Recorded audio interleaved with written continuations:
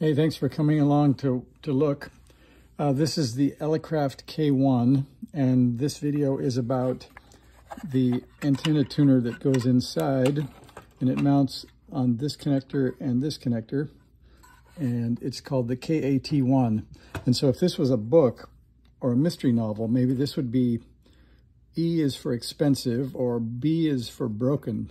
So back in October 30th of 2022, I was on eBay and I thought 77 pounds sounded like a great deal. So I clicked buy it now.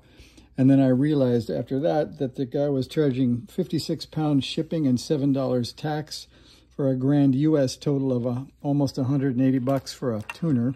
And then I got it home and it's broken. So it's been broken since last year or about 10 months ago. I've tried it in a couple of radios and each time the same thing. On the display, you get dash, dash, dash, which means the main controller can't talk to the controller on the tuner, which is here, this chip. So in the meantime, I've also bought a rig that had a working tuner in it. So now I've got a comparison shopping uh, board to play with. And uh, here's what happened. So they're both KAT1s. They're, one's a Rev C, one's a Rev CR, which is RoHS, which is, let's see, removal of hazardous substances.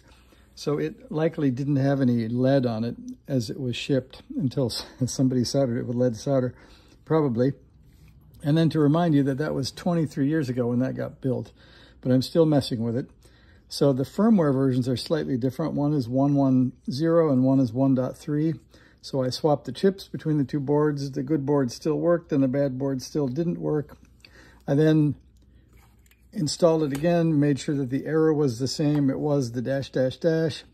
Then I checked the circuit path. So the way this controller talks to the main controller is over these, this uh, little three pin jack has power ground and the microprocessor signal. And you can follow it down the board. Uh, let's see, we can yank this off. You can see here on the schematic. So it comes in, goes through a 100 microhenry choke, has a capacitor to ground, which is a 102 and a 100 ohm resistor. And you can see those pretty plainly. It comes over here. There's the choke, there's the resistor, and there's the cap.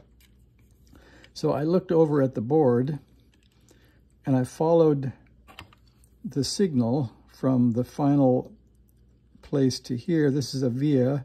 that goes across a trace on the top and comes out here, which is under the chip, so you can't see that.